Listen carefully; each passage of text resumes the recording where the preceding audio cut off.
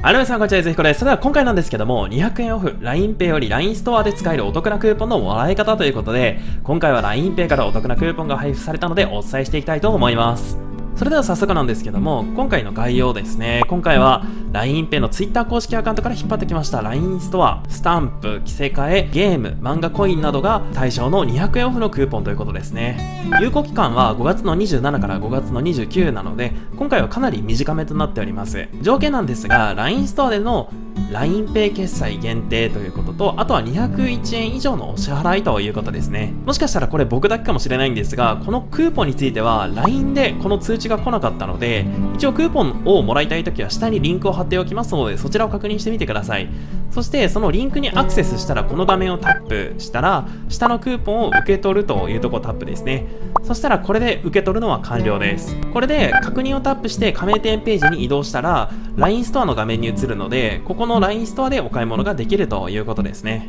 ちなみにこのクーポンが取れたかの確認については LINE のアプリのウォレットここの金額のところをタップしてマイクーポンというところをタップしたら実際に取得したクーポンというのをここで見ることができます。ちなみにクーポンを使うときはお支払いの時にクーポン検索っていうところをタップして利用するクーポンを選べばこれで大丈夫です。この LINE のストアで使えるものに関してなんですが例えばスタンプ着せ替え漫画